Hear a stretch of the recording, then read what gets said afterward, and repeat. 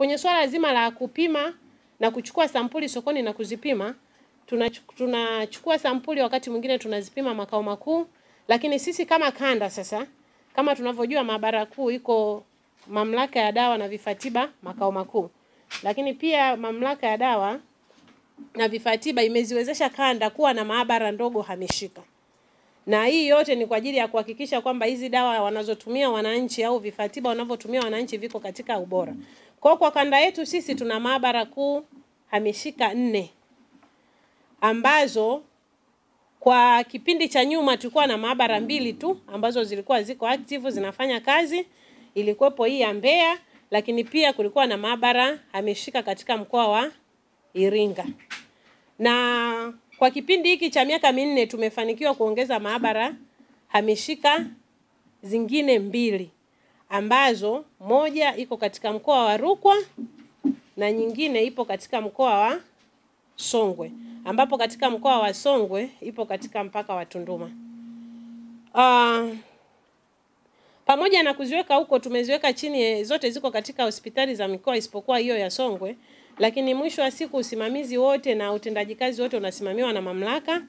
na katika kusimamia hizo vitendea kazi vyote tunawapatia, manake kama ni sampuli tunakusanya, reagent tunakusanya na tunapeleka kwa ajili ya kuweza ku, ku, kufanya kazi au zile maabara ziweze kufanya kazi katika ufanisi na katika yani zisi, zisi, zisilale ziweze kufanya kazi kila wakati. Kwa sisi kama mamlaka tunasimamia kutoa vitendea kazi vyote, lakini pamoja na hilo maabara hizi huwa zinatoa taarifa kwetu kila mwezi. Kwa kila wanapofanya huu upimaji wanaleta taarifa kwetu kama mamlaka, tunazipitia na tukiona ziko vizuri tuna na sisi tunakuwa na taarifa yetu. Kwa kwa mfano kwa katika kipindi hiki kama nilivyosema huko nyuma maabara zetu hizi zilikuwa chache na zilikuwa haziwezi hazifanyi kazi kwa kiwango kikubwa, lakini katika hii awamu yetu ya tano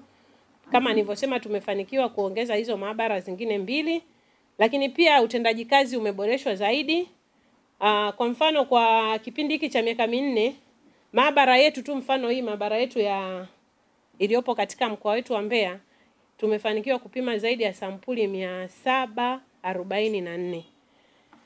Mm, na katika hizo sampuli mia saba arobaini na nne wa ndugu wa